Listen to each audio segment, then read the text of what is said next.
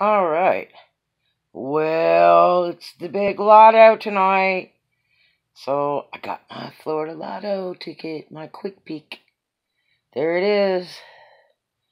25, 28, 31, 34, 37, and 51. No, I didn't get an extra, but I've hit on extra before. So, uh, did you get your ticket? Anyway, um, the uh, winning thing right now is 4.5 million. It'll probably go up before the drawing. But uh, I always get quick picks on Lotto and Powerball. I would never pick my own numbers. So I hope you win. You have a great one and hope I do too. Have a really great and blessed day.